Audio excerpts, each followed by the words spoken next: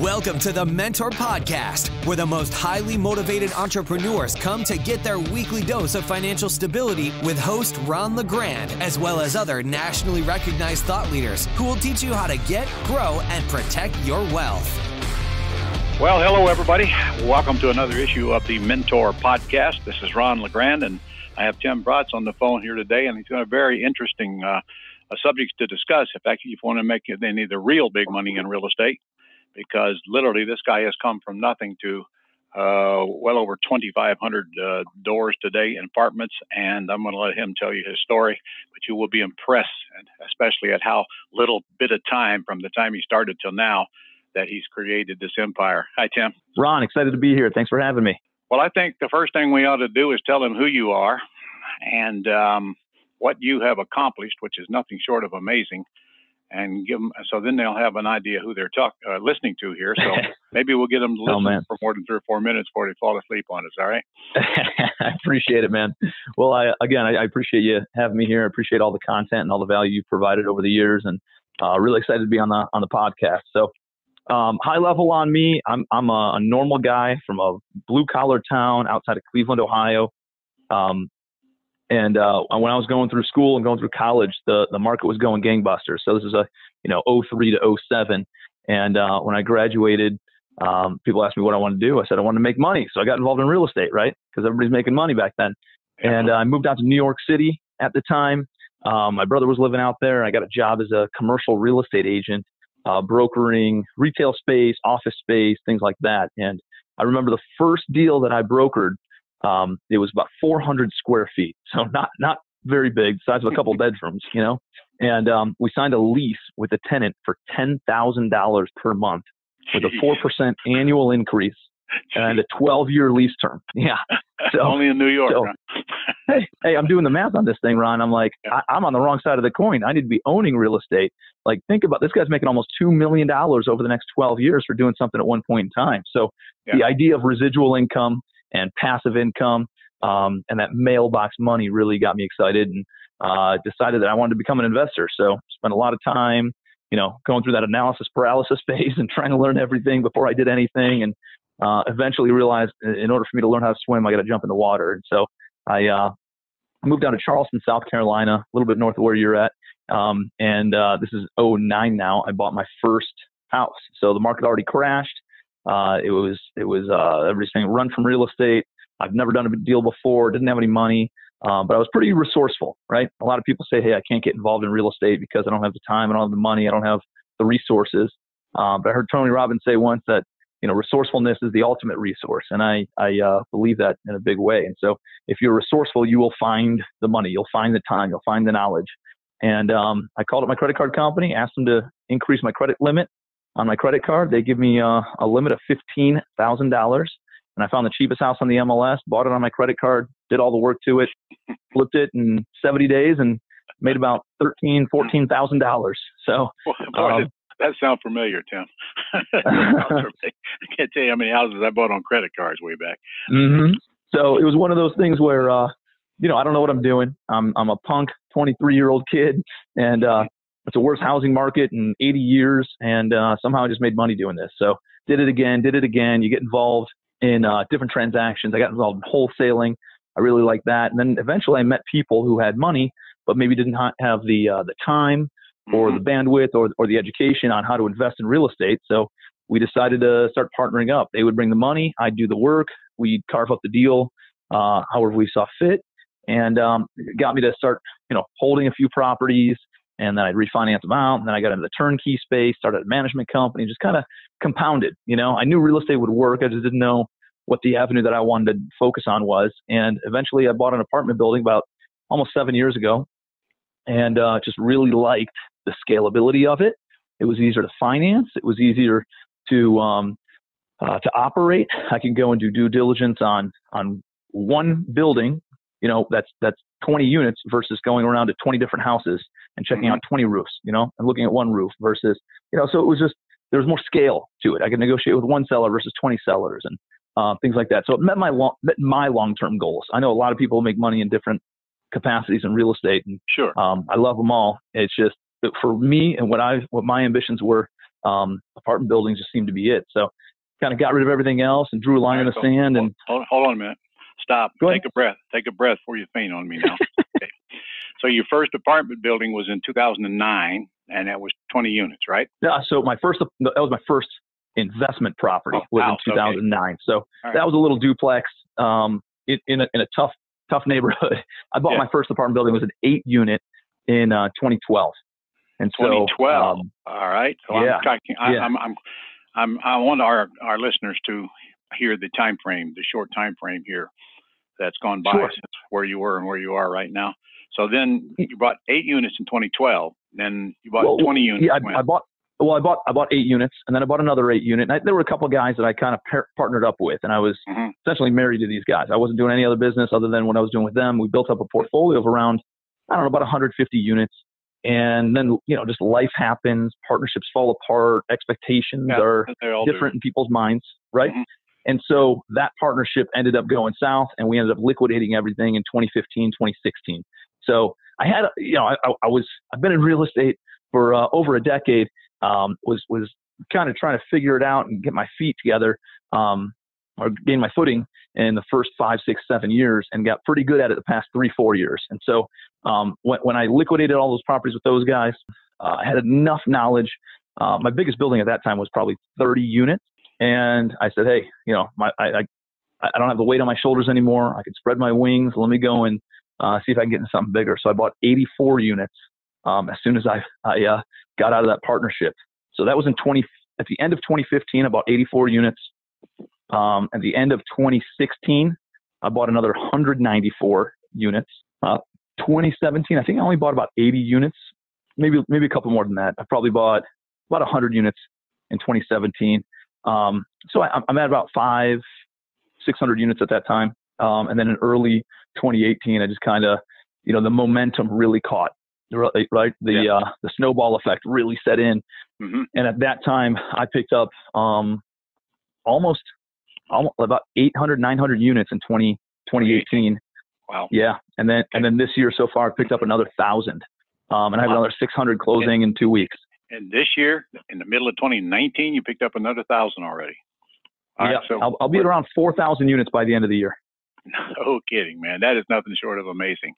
All right. Well, our listeners, however, are sitting there thinking to themselves, "Well, it works for him, but I don't know how it's going to work for me. I don't, I don't, I don't know. I don't have a big financial statement, and I don't know that I can go borrow all that money, and, I don't have, you know, hundreds of thousands of dollars to put up for down payments and that sort of thing. So let's get to the meat here, sir.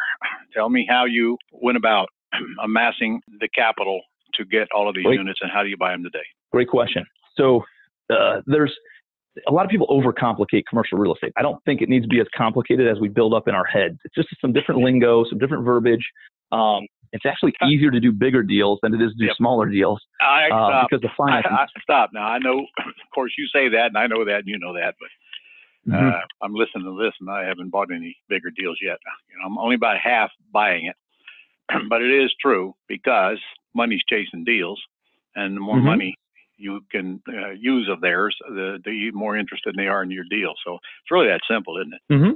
And, and all I've done is I've taken my, my residential business model and I've duplicated it in apartments. So just like most people have to go in, buy a house and fix it up and flip it, and they have to be all in for 65% of that stabilized value.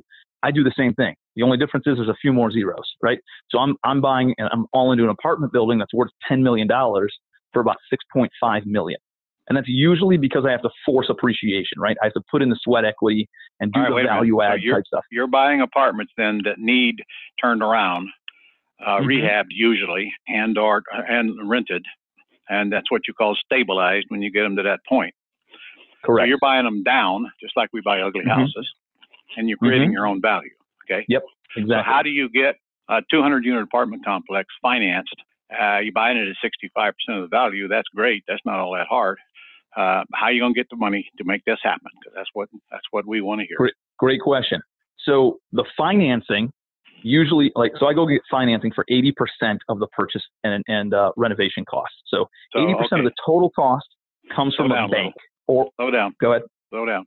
So um, you're going to get financing for the 65% of the purchase price, and let's say another I don't know, 15% above that uh, to uh, purchase the, pro- I mean, rehab the property and some holding costs along the way because you won't have any cash flow while you're doing all of this, or probably not enough. So you borrow enough money to cover the interim cash flow and everything else you need, and then some. Is that correct? Correct. But Some buildings well that I buy are yeah, well below the stabilized value. correct. So right. uh, that's just part of the cost. You know, the part like the interest reserve and whatever the debt service is going to cost is Mhm. is is it's added into the cost of the total deal. So you got roofs, you got fixtures, you got flooring, and you got debt service. You know, so Right. you can calculate that in. So And then and then what I do is I go and raise private money for the 20% down, which everybody expects you to do in commercial real estate. All right, so you- you arrive at a number based on your due diligence and your research before you close. You got a number. Now you know what the number is you're borrowing against, which is still, uh, in your case, no more than 80% of the after repaired value as we use in the house business. And uh, that's even plugging in a vacancy factor of what? Not, that doesn't mean it has to be 100% occupied. What percent are you using? 90%? Yeah, usually usually Okay. somewhere between 90 to 94% occupancy. Yes, and you have to add a reserve in there. The lenders won't even give you the money, which which is on what two three percent or so in your case. Yeah, yeah. Usually All right. it's um, Okay. you're talking about a capital expense reserve. Okay, so the goal is to buy the properties so that a loan of eighty percent of the stabilized value is enough to cover all of that. So you have plenty of money to get the job done.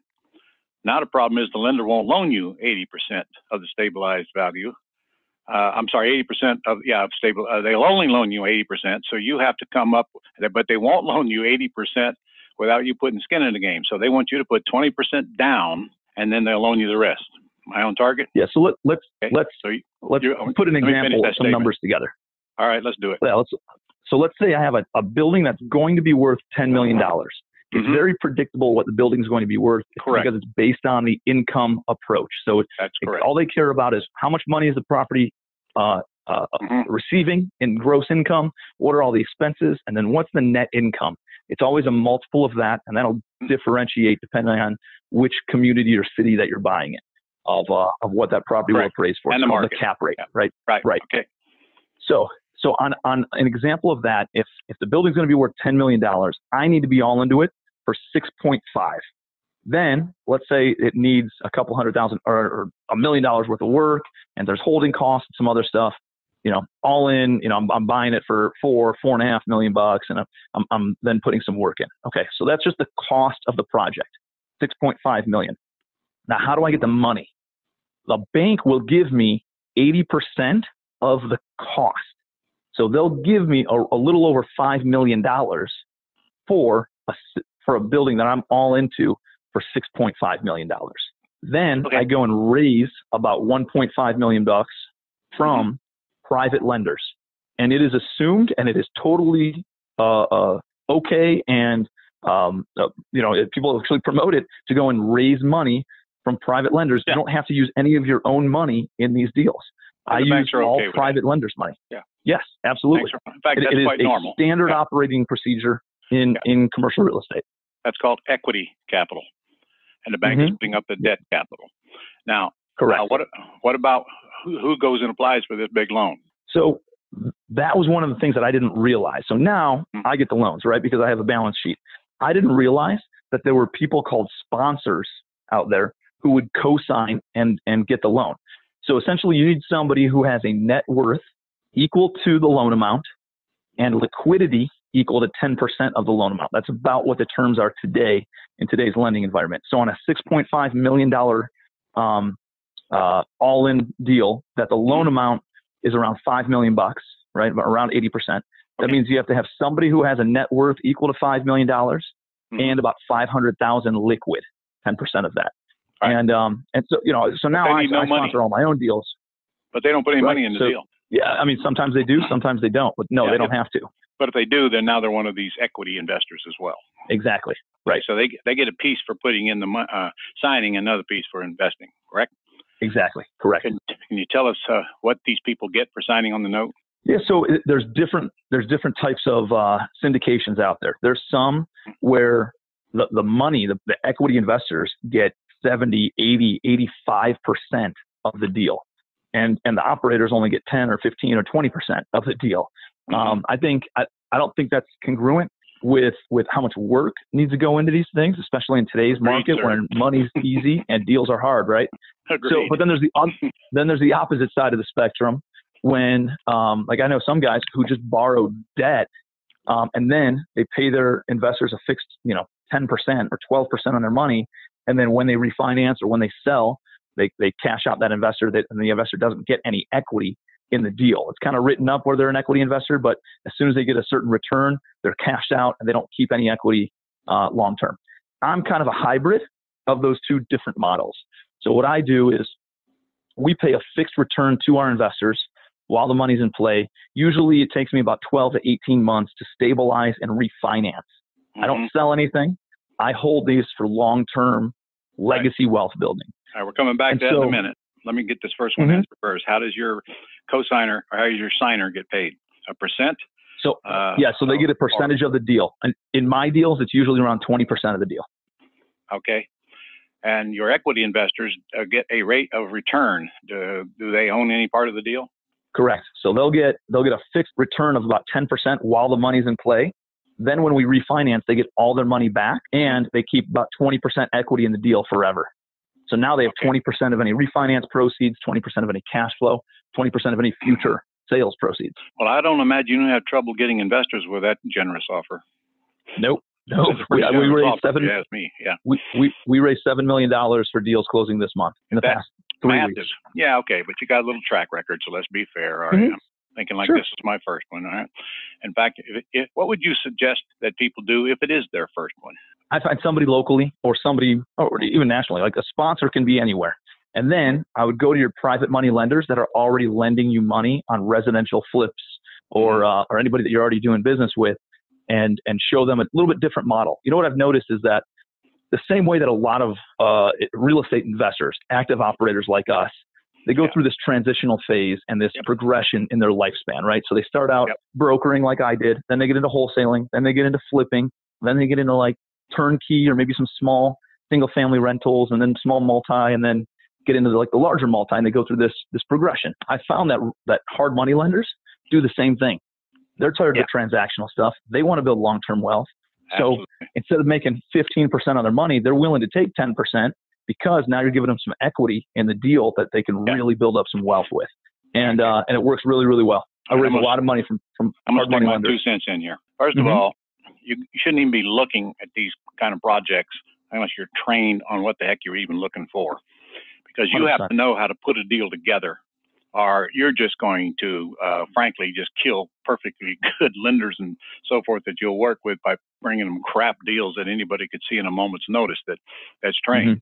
So it starts with what is a deal, how to put that together so you can present it, and then if I were them, I would latch on to somebody that's already doing this and be somehow be part of that. Maybe be the person looking for the deals for them or whatever to get the mm-hmm. experience to go through this process, which you know doesn't take that long to get through, maybe a year or two, but mm-hmm. by the time you come out, now you have the tools in your head to get the job done right.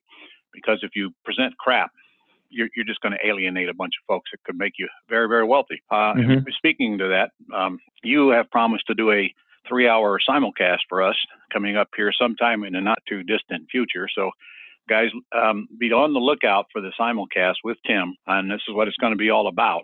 It's three hours, and it's it's real time. You know, it's he him sitting in a room with me sitting beside him, prodding him, and literally going digging deep into this stuff because we talked about a lot of stuff that's got to be explained, like you know, how do you mm-hmm. determine mm-hmm. the value of that property going forward, and how do you determine what you can borrow after you get it stabilized and that kind of stuff. So um, make note.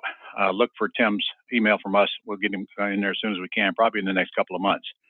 Uh, secondly, you are um, actually committed to come to my commercial boot camp at the end of this year, aren't you? We're doing it. I'll yeah. be there. All right. You and I will talk about that later, but I got to give you some time on this subject. And um, I think it's, um, what is it, October the 21st, I think you'll be there. So anyway, guys, looking for that. I'm doing, I do a commercial boot camp. Uh, he, uh, Tim is a specialist. I'm a generalist. I like to do all kinds of commercial stuff, so I'm going to let him have the apartment business portion of that, and uh, we're going to dig deep in that while we're there. Plus, you're going to speak at our summit next year, aren't you, sir? I'll be there, buddy. Yeah. Okay. So I kind of stumbled onto Tim by accident, but now that I got him, we're going to utilize the crap out of him and pick his brain until that minute. Okay. So Tim, all right, now we got this thing bought. Now the whole end game here, and actually your exit strategies are only two: either sell it or refinance it and keep it, right? Mm-hmm. Correct. And you yep. don't want to kill the golden geese. So nope. you get it stabilized. You get the math as good as you're going to get it. You get the net operating income up as high as you can get it. And mm-hmm. then you go to refinance it. And what what loan to value ratio can you get on the then current value? Yep, great question. The reason I'm all in for 65% of the loan to value is because mm-hmm. typically my my loans when I refinance it go between 70 to 80% loan to value. So on this example that we've been talking about, let's say I'm all in for 6.5 million and it's worth 10. The, the, the bank, which is actually an agency loan, is who I get. So I get non-recourse debt through a Fannie Mae, Freddie Mac, um, type of a lender. Oh, and uh, non-recourse yep, mean, Tim? It means you're not personally guaranteeing the loan. Wow. Uh, now there's some bad boy carve outs. Nobody guarantees yep. the loan. Nope. Nobody guarantees the loan. How can that be? It's because it's based on the property itself. The only recourse against the loan is taking the property back. Now, if you lie, cheat, or steal, then yeah, they can come after you personally. Um, but as long as it's outside of your hands of um, right. of why the loan went bad. You know, right. let's say the, a major economic player in the town moved out and mm-hmm. occupancy dropped. You can't cover the loan. The bank will take back that property, and um, and they're not coming after you personally. So it's a go. yeah. As you increase your net income and your net worth, you're mm-hmm. trying to decrease your, your ongoing liabilities and your risks, and, yeah. and that's one way to do it. And, so and let me make um, a point here, can I? When you go mm-hmm. after that loan, now it's you that's going after the loan. You have no more partners in the deal. Mm-hmm. Uh, well, except the equity partners that are hanging around that still have a piece in it. But you do have um, a loan that you're pulling cash out of, because that is one of the points. You're paying off all the debt. You're paying off everybody that's getting out of the deal. And it's non recourse, which means it will never show on your credit report. It'll never show mm-hmm. on your financial statement because it is not your loan. They're making the money to the LLC, and you're not liable for it. And guys, I want you to think about that for a minute no matter what happens, they're not coming after you to collect that debt. They're going to get the apartment complex if something were to go haywire, like it did in many places in 2008. So, Tim, mm-hmm. are you looking at it probably, I don't know, a year and a half, two years before you go up there refinance? Yeah, it, on average, we're, we're probably right around 15 to 18 months. And mm-hmm. so at that time, we'll go and get a new loan at 75% loan to value. So they'll give us $7.5 million. With that, we pay off the $5 million acquisition loan. We pay back mm-hmm. the $1.5 million in private money we borrowed. And then there's still a million dollars of refinance proceeds, which are non taxable. And then right. we carve those up amongst all the owners, including the, the equity investors. And, uh, and then we hang, hang on to this thing for the next 10 years. And uh, because we have usually a 10 year loan term in place. What I don't want is five years from now, the loan to come due and uh, you know, we didn't pay down enough principal on it. It hasn't appreciated to enough. Yeah. We're at the peak right now. We all know that. What happens with the economic uncertainty and mm-hmm. political uncertainty and all those things. So I want at least 10 years. The reason because of that is because if you look at 2006, you bought in the peak of the last cycle, even going through the Great Recession by 2016, you were able to pay down enough principal and the property was appreciate was able to appreciate enough where you still had options at that time mm-hmm. when the loan comes due. So that's yeah. that's why we do at least a 10 to 12 year loan term, and then uh, and then then we hang on to it, man. Yeah. You, haven't gone after the 221 HUD loans? No, no, I have not. Mm-hmm. Th- those are those are the new construction, the 40 year ones, right? Oh no, they got new construction, they got refinance, and they got build, and they, they go up yeah, to 93 so, percent of the value. Yeah. So and on a lot of those, there's a lot of paperwork. There's a lot of a lot of I, I, have HUD properties that are subsidized through HUD. Mm-hmm. Um, I have one actually, but it's a lot of work, and uh, we like to no, move a little bit a little bit faster. No, so. sir, it's a lot of work for somebody, not you. you just right. hire a consultant and let them go do all right. that crap, and it has nothing yep. to do with HUD tenant. You know that. It's just HUD mm-hmm. financing. Mm-hmm. So anyway, we'll mm-hmm. discuss that when we spend more time with these folks. Well, listen, um, if you guys want something free today, first of all, I'm going to say it again. Watch out for the simulcast. It's coming up shortly. Uh, will be $99. And frankly, if that bothers you, don't get on the simulcast because the information is going to be on there. It's going to be incredible for you from a real player. Uh, by the way, I didn't ask you uh, what how much how much what's the value of all the properties do you will own by the end of this year? Do you think? Uh, so right now, my current portfolio um, with the properties I'm closing on in about two weeks will be about 260 million dollars. Uh, by the end of the year, I'll probably be north about 325 million, somewhere in that ballpark. And the debt goes down every month, doesn't it? Every and monch, and they put money in my pocket every month. Uh-huh. Yep. And we haven't even talked about that thing called depreciation, have we? wipes out your income taxes, which would be a beautiful humongous. thing. Yes, it is. Well, I hope you enjoyed that conversation with Tim. Uh, this guy has got a lot to teach us, and man, what an amazing story. Uh, listen, I'm going to have Tim live at our uh, Great American Real Estate Summit in 2020 in Vegas. It uh, it is March 31st through uh, April 4th. If you would like some more information on that great event, which will include a lot of absolutely fantastic quality trainers as well as a lot of cool, fun things that are going on and over $100,000 worth of cash and prizes being given away, and more importantly, a giant dealathon where we actually do deals for students while they arrive. Go to RES 2020, that's RES, that's Real Estate Summit 2020, and check it out for yourself and get registered before we uh, raise the price on it, which we're about to do. And I hope to see you there, and I hope you enjoyed our conversation with Tim today. That's all for this edition of the Mentor Podcast. To connect with Ron and learn how you can attain financial freedom, as well as up to date strategies to grow and protect your wealth based on today's discussion, go to www.connectwiththementor.com.